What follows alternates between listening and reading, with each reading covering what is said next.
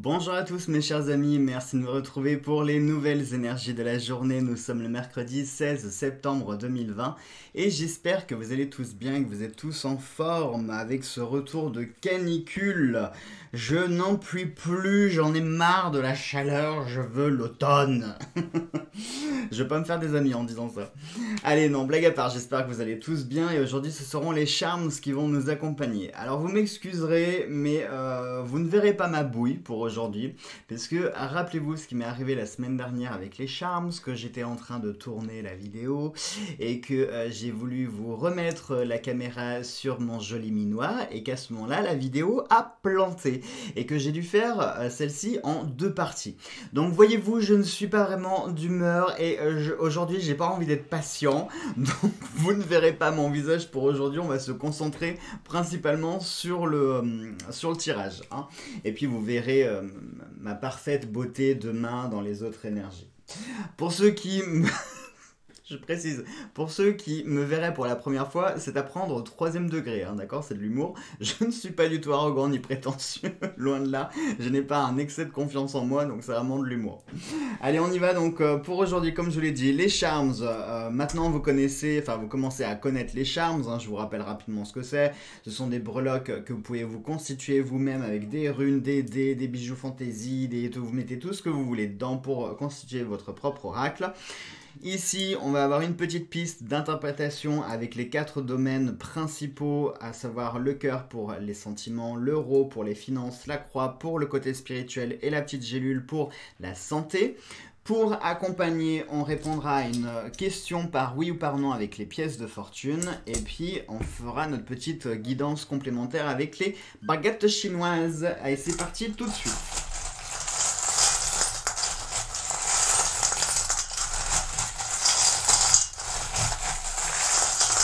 Allez, je ferme les yeux pour pas tricher. Encore, je sens la chaîne. Oui, elle est sortie. Euh, oulala, mais attendez, on va essayer de répartir un petit peu... Euh... c'est plutôt côté cœur. Hein. C'est plutôt côté cœur. Niveau spiritualité, on n'a pas vraiment grand-chose. Attendez, je vais sortir ma petite baguette. Euh, niveau spiritualité, euh, niveau spiritualité, si on a un dinosaure qui est rattaché, alors on va commencer peut-être par le côté euh, spirituel. On a le dinosaure qui pourrait nous parler peut-être de passé. Aujourd'hui, il est possible que vous ayez des souvenirs ou des réminiscences de passé, des choses qui sont rattachées au passé, des choses qui pourraient rattacher à des souvenirs. Ça pourrait éventuellement aussi nous parler. Alors attention, c'est pour le côté spirituel, d'accord? Donc peut-être qu'aujourd'hui, vous pourriez avoir soit des ressentis, des images, des visions, peut-être des choses qui seraient attachées à une vie d'avant. Hein, euh, puisque là, pour moi, le, dinosaure, ça me parle vraiment d'une vie passée, d'une vie euh, qui n'existe plus, qui n'est plus d'actualité. Donc peut-être qu'aujourd'hui, vous, vous pourriez avoir des sensations ou ressentir des choses qui sont en lien, probablement, avec une potentielle vie antérieure. Donc soyez plutôt attentifs et vigilants euh, aux signes ou aux choses que vous pourriez recevoir. Soyez à l'écoute de votre instinct et soyez à l'écoute de tout ce qui va pouvoir vous entourer. Bon, alors regardons ensuite côté finance. Alors côté finance, je vois des dépenses passionnelles. Je ne sais pas pourquoi je vous dis ça, mais euh, entre le cœur, la robe et euh, Paris, enfin la, tour Eiffel, pour le coup, ça me fait vraiment penser à euh, l'amour passionnel, l'amour romantique, les dépenses qu'on pourrait faire par passion. Méfiez-vous, aujourd'hui, vous pourriez être amené à dépenser de l'argent en lien avec des choses que vous aimez particulièrement. Alors ça, ça peut être pour faire plaisir aussi. Peut-être que vous avez prévu d'acheter un cadeau pour quelqu'un que vous aimez. Ça peut être pour euh, un anniversaire, pour une fête. Euh, ça peut être pour un événement particulier ou juste pour faire plaisir aussi. Hein. ça peut être possible. Euh, ça peut nous parler aussi donc soit d'achat pour quelqu'un que vous aimez, mais ça peut être aussi des achats pour vous, euh, pour des choses que vous aimez. Hein. Euh, ça pourrait nous parler ici de, de vêtements, de mode, donc peut-être qu'aujourd'hui vous avez prévu de faire des courses. Attention à ne pas flamber la carte bleue. Je vous l'ai dit, les énergies de ces jours disaient attention, hein, côté finance, on budgétise, on comptabilise, on fait attention, on, on est économe et on est prévoyant. Donc attention aujourd'hui à ce que vous avez décidé de dépenser réfléchissez quand même à deux fois avant de vous lancer dans des dépenses. Peut-être qu'il y a des dépenses dont vous pouvez vous passer. Hein Honnêtement, est-ce que vous avez besoin de cette quinzième cravate? Est-ce que vous avez besoin de cette quinzième petite robe noire? Non, vous en avez déjà 14 dans votre dressing.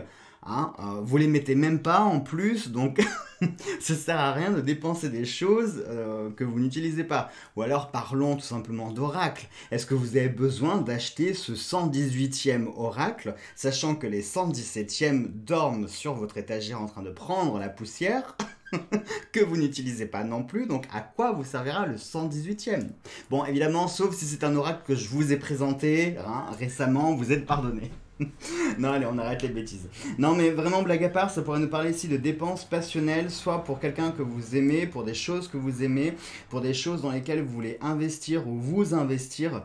Mais il y a vraiment ici, euh, il y a quelque chose en lien avec à la fois le cœur, le cœur, la raison, je sais pas comment vous dire ça. Euh.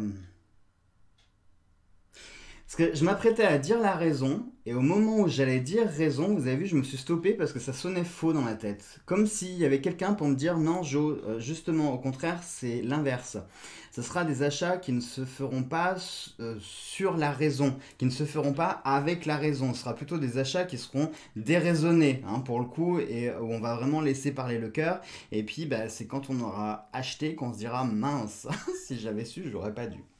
Bon, voilà. En tout cas, ça nous parle ici de dépenses pour aujourd'hui des dépenses peut-être qui peuvent être utiles aussi, hein, pourquoi pas. Mais pour moi ici il y a quand même une notion de plaisir, parce que vous voyez ici, ça, me fait penser à la tête de Mickey. Alors c'est marrant parce qu'ici on a la tête de Mickey, et puis là on a une petite étoile avec la fée clochette, c'est drôle. Euh, par hasard, est-ce que vous auriez prévu de partir à Disneyland Paris? Certains d'entre vous, peut-être. Parce que c'est drôle, il y a quand même une connotation entre bah, la tour Eiffel, la robe de princesse, le cœur, les étoiles, la petite fée, la tête de Mickey. Hein. Avouez honnêtement, euh, il y a quand même de quoi se poser la question. Non, bon, peut-être tout le monde, tout le monde n'ira pas à Disneyland Paris, mais ça peut être possible. Peut-être que vous êtes en train de préparer éventuellement un voyage, ou peut-être qu'aujourd'hui vous allez réserver des billets pour aller dans un parc d'attractions, pour vivre, je sais pas, un petit week-end féerique, euh, ça peut être quelques jours, peut-être que vous allez prendre vos vacances, hein. certaines personnes prennent leurs vacances tardivement, donc peut-être que ça peut être ça, mais euh, il y a un aspect ici de dépense et ouais, de féerie, d'amour, de passion, de on n'écoute pas la raison. On va regarder maintenant côté cœur, alors attendez, ce qu'on va se faire, on va, faire le côté... Euh, le côté santé, parce qu'il n'y a vraiment pas grand chose, comme vous pouvez le voir. Bon, on a la chaîne, mais c'est vrai que la chaîne quand même est plus rattachée ici sur le côté cœur, hein, quand même. Côté cœur, aujourd'hui, je pense que euh, niveau émotion, il va y avoir des choses. Il va y avoir des choses. Pour ici la santé, on a la lettre D. D peut-être comme docteur. Ça pourrait être logique. Rappelez-vous hier, puisque avec le rond de cristal, on avait eu de gros problèmes de santé qui étaient euh, sortis. Donc D, D comme docteur, moi j'y ai pensé tout de suite. Avec le cœur, est-ce que ça pourrait nous parler ici de problèmes cardiaques, de problèmes euh, de tachycardie, des problèmes liés au cœur, ça peut être de euh, la tension, de l'hypertension, euh, des problèmes cardiaques, de la tachycardie comme je l'ai dit. Ça peut être aussi une forme de stress important parce que le stress agit sur le cœur, stress, angoisse, anxiété, etc. Euh, peut-être, peut-être ici que soit vous avez prévu un rendez-vous médical, soit il faudrait peut-être prendre rendez-vous si vous sentez que depuis quelque temps euh, il y a des petites choses, vous sentez que votre corps il tourne pas rond en ce moment. Que, euh. Si vous avez un doute, si vous avez quelque chose qui si vous le sentez, voilà, on, sent, on le sent quand dans notre corps il y a un truc qui va pas, euh, ça se sent. Eh bien, si vous le sentez, ne prenez pas de risque et allez consulter. Hein. Puis j'ai envie de dire, surtout en ce moment, puisqu'apparemment tout le monde est redevenu en zone rouge en termes de contamination du virus. Donc, j'ai envie de dire, ne prenez pas de risque, hein, si vraiment c'est le cas, euh, et euh, consultez. Voilà, si vous sentez que vous n'êtes pas bien, ne prenez pas de risque et consultez, allez voir un docteur. Mais là, ça me fait plutôt penser à un spécialiste, peut-être. Alors maintenant, on va regarder ce qui nous intéresse le plus, à savoir côté cœur. Et là, côté cœur, on a beaucoup de choses. On va regarder tout d'abord les runes qui sont sorties. Alors, pour ici, on va avoir Wunyo qui nous parle d'harmonie, de fraternité, de joie, de bien-être, d'optimisme et de prospérité. Donc ça, c'est plutôt positif. Et ici, on va avoir... Non, c'est pas Agalaz. C'est pas Galaz, c'est Hewaz qui nous parle d'harmonie du couple, travail d'équipe, loyauté et confiance. Bon, et eh ben franchement les amis, là on a deux runes qui euh, s'accordent parfaitement puisque les deux elles ont plus ou moins le même mot-clé, à savoir l'harmonie, l'unité, etc. Donc il est possible qu'aujourd'hui, en termes d'émotions et de sentiments, que ce soit euh, les sentiments que vous pouvez porter à votre famille, à vos amis, euh, dans votre couple, si vous êtes célibataire, il hein, n'y a pas besoin d'être en couple pour être en harmonie avec soi. Mais ici, ça nous parle d'une harmonie, d'une unité, de quelque chose qui va se faire dans la réciprocité, dans la mutualité. Ça se dit la mutualité? Je suis pas, je suis pas sûr. Mais c'est pas grave, on va quand même le dire, hein, vu que je suis connu pour inventer des mots. Autant continuer. Euh, j'ai le sentiment, j'ai la sensation qu'il va y avoir des choses aujourd'hui qui vont se faire dans un côté très réciproque. Euh, vous pourriez être amené à vous rendre des... Je sais pas pourquoi je pense à ça, je pense à des échanges de services. Parce qu'il y a beaucoup de choses là quand même. Hein. Euh, il y a beaucoup de choses. La bague, je la garde pour après. Mais je sais pas pourquoi la clé, le peigne. Euh, ça me fait penser à quelque chose, des échanges de services. Aujourd'hui, vous allez être soit. Ça pourrait. Ça pourrait, parce que le diamant nous parle de réussite, ça peut nous parler aussi. Euh, le diamant, c'est quelque chose qui. c'est un symbole très fort. Donc, je sais pas pourquoi je pense à ça, je pense à une bonne action. Le fait de donner, de vouloir faire plaisir, ça peut être le fait de donner de sa personne, être présent pour les autres. Vous voyez, ici on a une sorte de... C'est un soleil ou c'est un flocon de neige? Ça ressemble plutôt à un flocon de neige. Hein. Moitié flocon de neige, moitié soleil. il est hybride le truc, il est moitié chaud, moitié froid. euh... J'y voyais un soleil. Je vais garder la première symbolique que, j'ai eue et je voyais, je voyais un soleil parce que ce que j'avais en tête, c'est d'illuminer la journée de quelqu'un. Je pense qu'aujourd'hui, vous allez avoir euh, de l'énergie à revendre peut-être et euh, vous allez certainement être la bonne personne pour une autre personne. Vous voyez ce que je veux dire? J'ai ce sentiment de charité que aujourd'hui, oui, vous, allez faire une bonne action et vous allez euh, mettre, offrir votre cœur, être à l'écoute. Regardez ici, on a un casque le casque audio. Donc avoir une écoute active, être présent. Ici on a quand même plusieurs clés. Donc peut-être que vous allez euh, offrir des conseils, peut-être que vous allez offrir de votre temps, peut-être que vous allez aider à débloquer des situations pour des personnes qui euh, sont bloquées. Alors vous pouvez aussi en bénéficier. Parce que automatiquement, si les autres sont dans la même vague d'énergie à aider son prochain, par conséquent, vous pouvez aussi en bénéficier. Vous voyez ce que je veux dire hein? C'est un peu une relation de cause à effet. Si vous donnez et que la personne donne aussi à son tour, bah forcément, on va revenir à un cercle, euh, vous voyez hein Donc, vous pouvez en, profiter également. Mais ça me fait vraiment penser à ça, quelque chose de, charitable.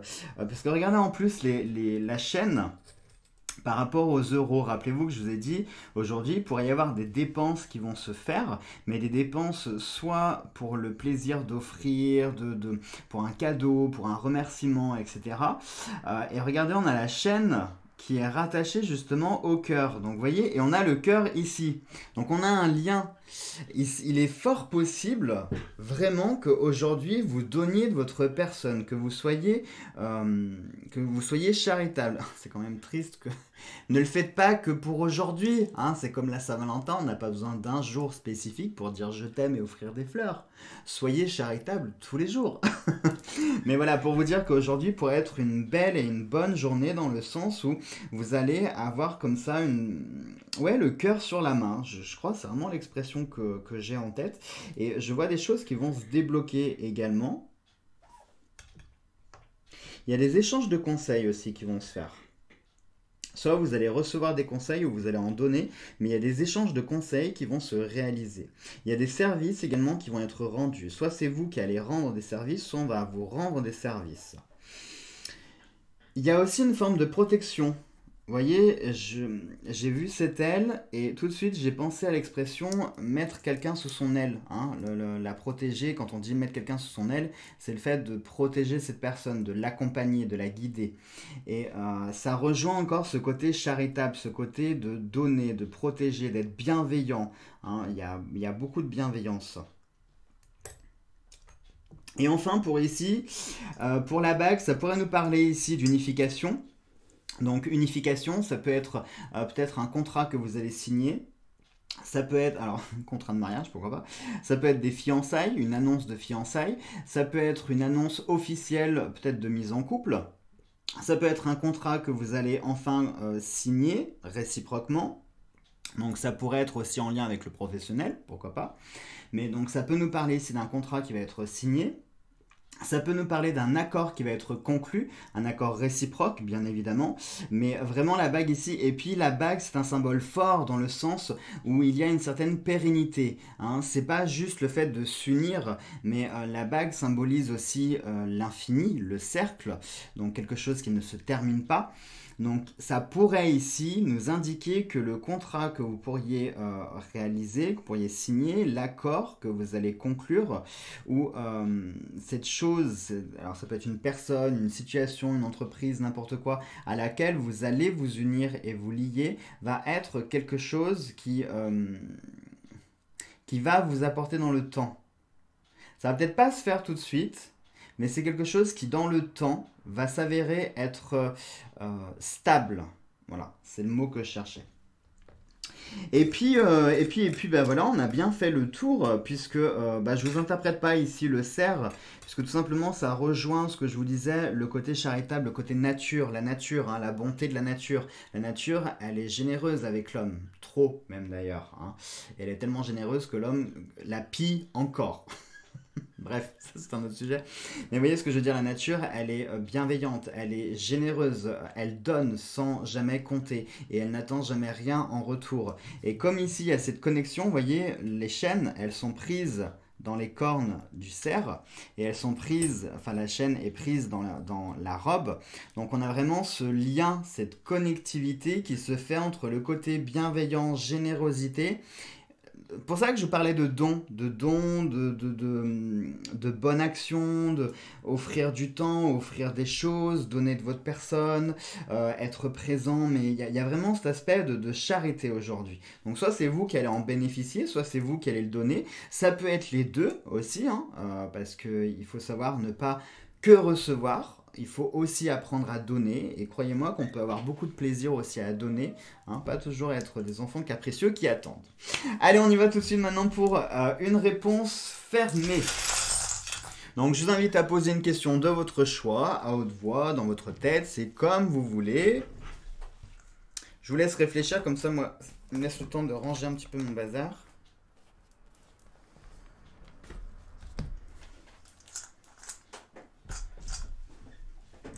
Allez, votre question est prête On y va. Nous avons un nom. Nous avons un nom. Et nous avons un troisième nom. Bon, les amis, comme vous l'aurez compris, la réponse est non. Et c'est un non qui serait plutôt ferme et catégorique. Donc soit ça peut être non parce que ce n'est pas prévu pour aujourd'hui, ce n'est pas prévu pour les jours prochains. Non, euh, peut-être parce que vous connaissez déjà la réponse et euh, ça sert à rien qu'on vous le redise alors que vous le savez déjà. Hein.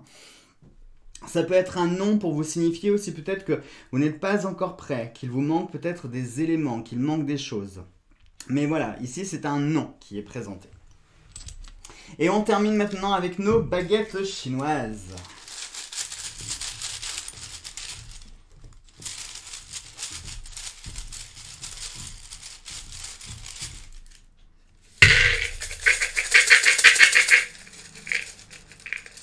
Alors, nous la numéro 2. La 2, la 2, la 2. Et bah, du coup, je vais pouvoir lire, je vous approcher directement. Comme ça, vous pourrez lire également avec moi. Est-ce que vous lisez? Oui, non. Est-ce que tu... Oui, c'est bon. Alors, dans ces vers, l'hiver cède la place au printemps et une nouvelle vie. Vos affaires prospéreront avec le temps en suivant le cours naturel des choses. Tout ce que vous avez à faire, c'est de laisser la nature suivre son cours.